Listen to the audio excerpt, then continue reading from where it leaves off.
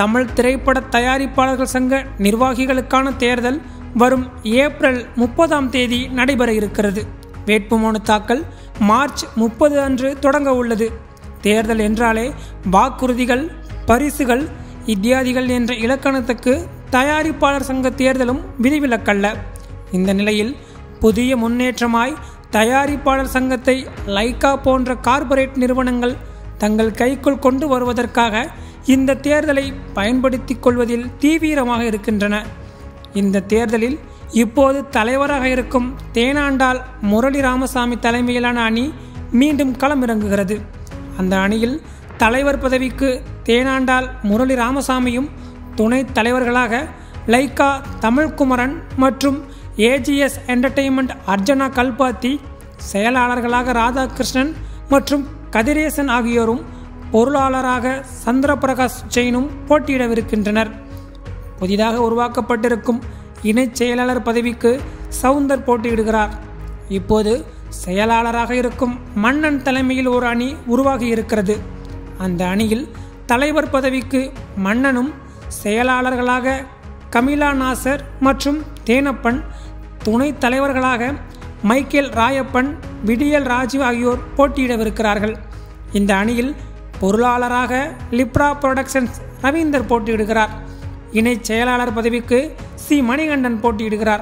இரண்டு அணிகளிலும் செயற்குழு உறுப்பினர்களுக்கு போட்டியிடும் வேட்பாளர் பட்டியலை தயார் செய்வதில் குழப்பம் நீடிக்கிறது. தயாரிப்பாளர்கள் சங்கத்தை தங்கள் கட்டுப்பாட்டிற்குள் கொண்டுவர கார்ப்பரேட் நிறுவனங்கள் முயற்சிக்கின்றன என்கிற குரல்கள் அழுத்தமாக எழும்பத் தொடங்கியுள்ளன.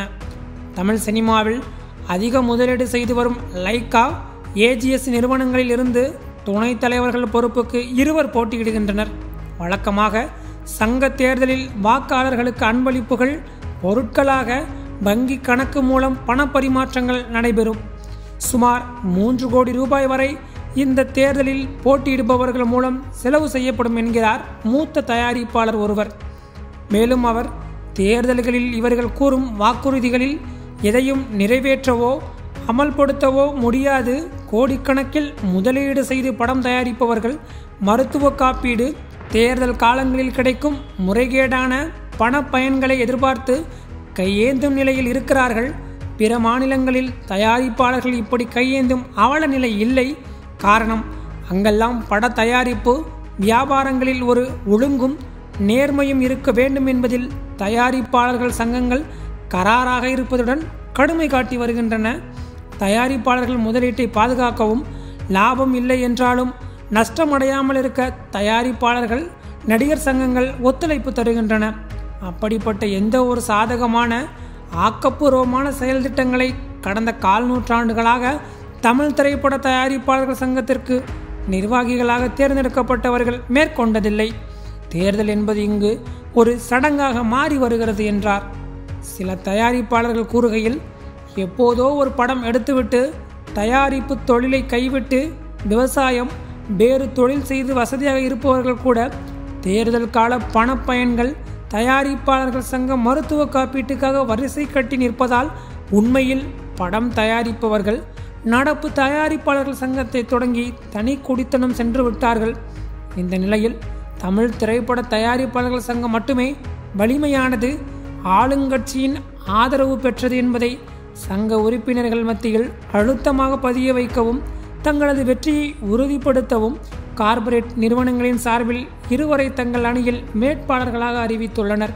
அத்துடன் இல்லாத சங்க நல நிதிக்காக லைக்கா நிறுவனத்தின் சார்பில் நேற்று மாலை ஐம்பது லட்சம் ரூபாய்க்கான காசோலையை லைக்கா நிறுவன தலைவர் சுபாஸ்கரன் அல்லிராஜா தற்போதைய சங்க நிர்வாகியிடம் வழங்கியிருக்கிறார்.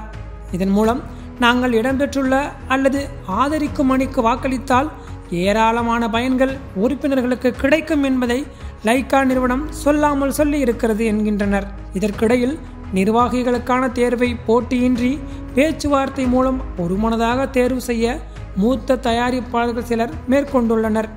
அப்படி ஒரு முடிவு ஏற்பட்டுவிட்டால் தேர்தல் நேரத்தில் கிடைக்கக்கூடிய பண பயன்களை எதிர்பார்த்து காத்திருப்பவர்கள் சுமூகமான முடிவு ஏற்படாமல் தேர்தல் நடத்துவதற்கான முயற்சிகளில் ஈடுபட்டு வருகின்றனர்.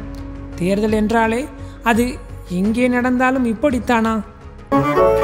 மின்னம்பலம் டாட் காம் தமிழின் முதல் மொபைல் பத்திரிகை.